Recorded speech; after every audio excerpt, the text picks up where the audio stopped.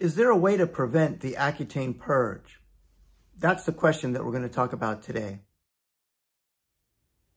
Welcome, I'm Dr. Arthur Kolsky. I'm founder and medical director of Advanced Acne Institute, and we are a dermatology practice that only treats acne. So we're unique in that respect, and we'd like to share some of our insights and experiences, hoping that acne sufferers watching might gain some useful information on their path toward clear skin. So today we're going to talk about a question that comes up quite a bit, and that is, is there a way to prevent having to experience the Accutane purge? So many people who are contemplating taking Accutane, they have done some research and they find that many patients who take Accutane experience what they refer to as a purging, in which their acne actually gets worse in the beginning of treatment. Now, obviously, if we want to use Accutane to help heal your acne, we don't want you to get worse. So is there a way that we can prevent that from happening? So first of all, the good news is that the majority of patients don't experience worsening in the beginning anyway.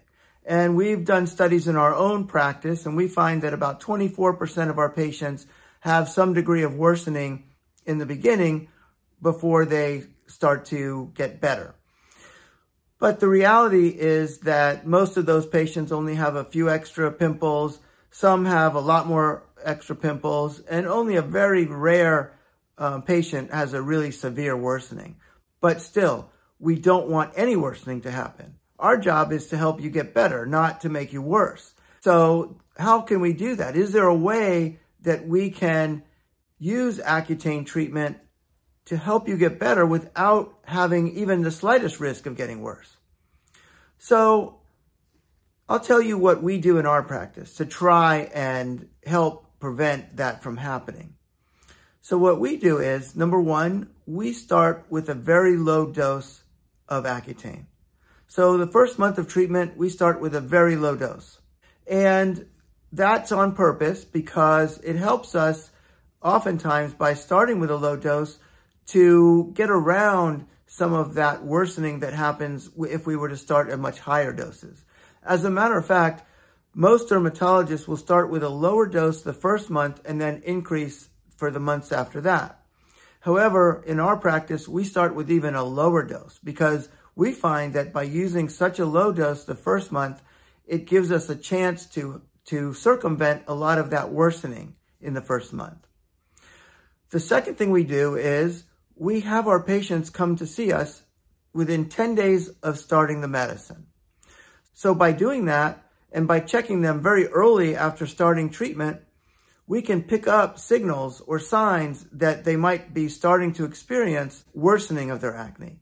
So if we start to see extra pimples developing, if we start to see signs that their acne is actually getting worse instead of better, we intervene. So what do I mean by intervene? So one thing that we do is sometimes we'll stop the medicine completely. We'll suspend treatment for maybe a week, maybe 10 days, maybe two weeks. It depends on the severity of what we see.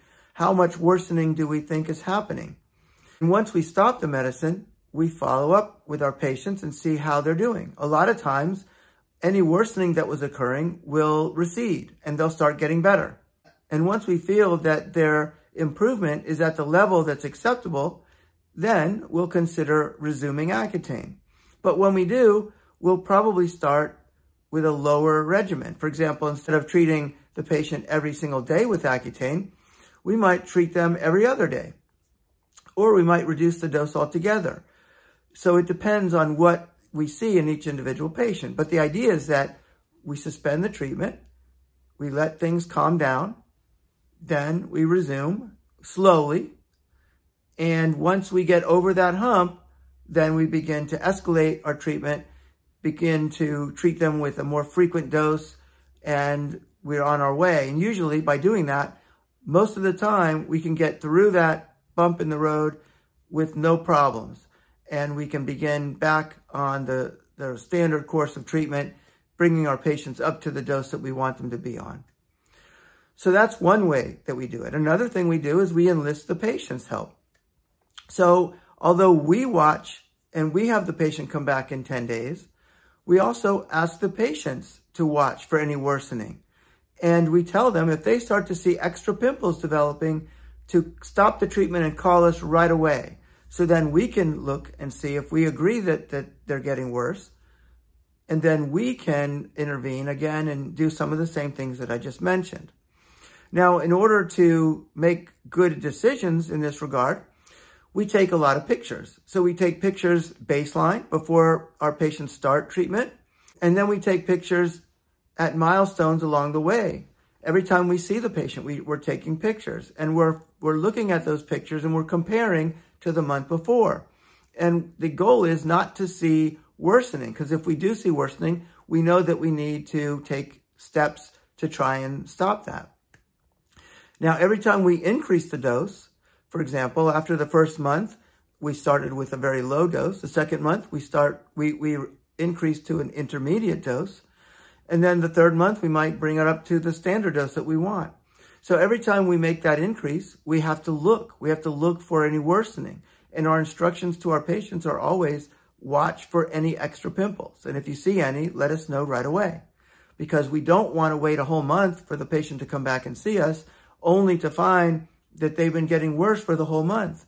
So we're very proactive in that respect. And we're watching our patients closely during the whole treatment to try to intervene and identify these types of things that are happening so that we can take steps to mitigate that possibility if we start to see those signs that things are getting worse instead of better.